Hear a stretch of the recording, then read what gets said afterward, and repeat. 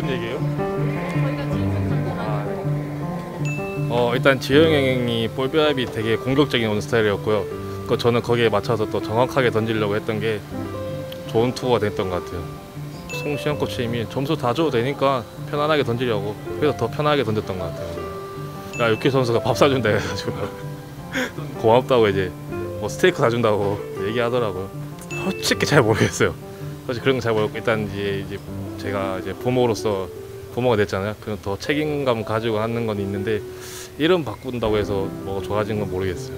그래도 저 마운드 올라갔을 때는 좀 집중하고 진지하게 하는 편이라서 막 웃고 그러지 않는 것 같아요. 그 웃으면 좀 안 좋은 결과들이 나오더라고요. 그래서 저는 최대한 안 웃고 그냥 평정심 유지하는 정도?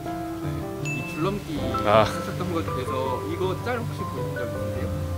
이본적 없어요. 다른 거는 다 표정이면서 줄넘기 할 때 웃고 딱밤 맞을 때 아파하고 이거밖에 얘기 아 그때 이거 그때 줄이 이렇게 있었어요. 긴 줄이. 그래서 그냥 뭐 한 명씩 넘다 넘다 보니까 다 같이 그 넘다 넘은 게 넘게 됐어요 이걸. 예, 예. 네, 알겠습니다. 네, 감사합니다. 네. 고생했습니다